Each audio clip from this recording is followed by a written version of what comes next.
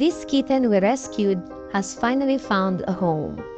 It's been a month now since we found him on the street.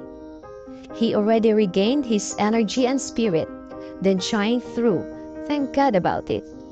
He's very playful now and active. He purr constantly in our lap and even show off his skills.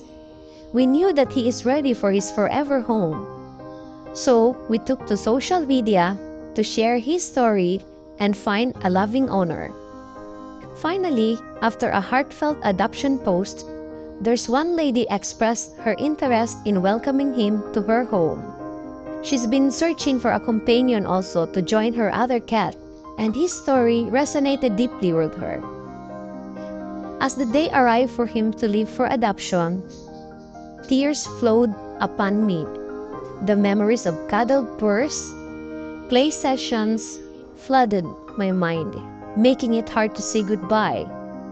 And with a heavy heart, I watched him carried away by his new family. As he settled into his new home, he continued to thrive and bring endless joy to his new owner. His journey from a sick and abandoned cat to a loving family was a true tale of unbreakable bond between human and animals.